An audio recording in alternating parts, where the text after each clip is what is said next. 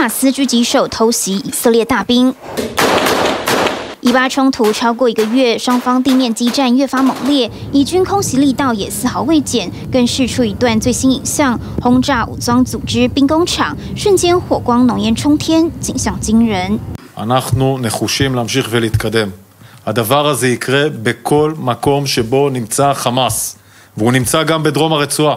为铲除哈马斯，以色列军方不排除再往南推进。不过，越是靠近哈马斯核心据点，坏消息接踵而至。But all its forces have found the body, they report, of a second Israeli hostage near the Al Shifa medical complex. This is 19 year old Noah Marciano. She was a corporal in the Israel Defense Forces. 年仅十九岁的以色列国防军下士遗体被找到，就在西法医院附近。包括前一天在同一区域找到的六十五岁人质，还有德国女刺青师。至今已经有三名人质不幸罹难。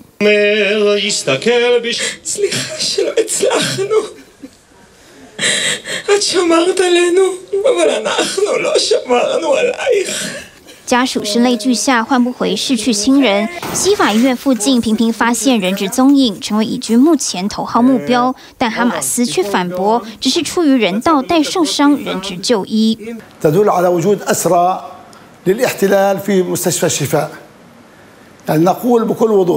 以巴各说各话，但光靠几支影片，以色列军方说辞恐怕也难以令外界信服。And the first batch of evidence they showed was some weaponry, some ammunition in the hospital itself. They say a far cry from establishing decisively that Hamas used the hospital underground. 抢救人质该如何进攻，或该不该全面进攻西法，成为纳坦雅胡政府烫手山芋。